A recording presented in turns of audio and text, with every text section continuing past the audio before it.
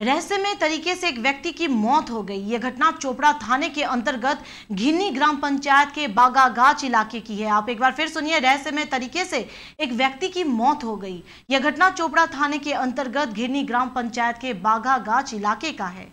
इस घटना में मारे गए व्यक्ति का नाम सतीबर रहमान है।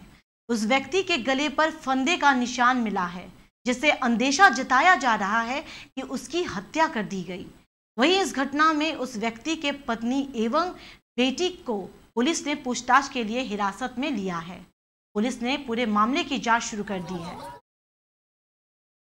ওর বউ মানে ওকে এই ও তো থাকতো অন্য বিছানায় তো দেখছি এখন মানে সকালে আমরা দেখলাম সকালে তো বলতে পারছি না মানে আমাদের ওই মণ্ডল বস্তির ওর বউর বাড়ির মণ্ডল বস্তি তো তো ওখানে আর কি ওর বউ রাত্রে পালিয়ে যায় সকালের বেলায় তো গিয়ে আর কি ওখানকার মেম্বার সাহেবকে বলে।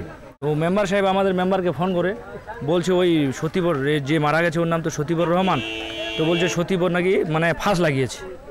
তো আমরা তো গ্রামবাসী কেউ বলতে পারছি না, তখন আটটার সময় মানে আমার চাচা একটা, ও মানে ও আবার বাইরে ছিল, ও ফোন করল এখানে, তো আমরা দেখলাম গিয়ে, দেখছি তো স্বাভাবিকভাবে পড়ে আছে মৃত্যু হয়ে। তো ও বলছে তো ফাঁসি লাগিয়েছে, তো আমরা দেখলাম যে ও ফাঁসি লাগায়নি, ও তো মানে বিছানায় শুয়ে আছে। আপনারা তো দেখলেন আর কি। তো তারপরে ওর যেটা অনুমান আর কি দেখলাম, প্রশাসনকেও আমরা খবর দিলাম, প্রশাসন আসলো। প্রশাসন এসে বলল যে, যা আমরা তদন্ত করছি। তো ওর তো কেউ ছিল না, ওর শুধু বউটাই ছিল রাত্রেবেলায়।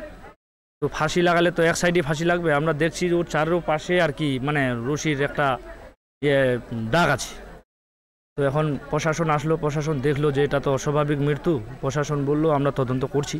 আমরা অনুমান করছি, এর তো মানে কেউ নেই। তো আমরা যেটা দেখতে আর কি পারছি, অনুমান করছি, বলা তো যাবে না। এটা তো প্রশাসন বলবে। আমরা আইডিয়া করছি আর কি যেটা মনে হয় মার্ডারই হবে। রাত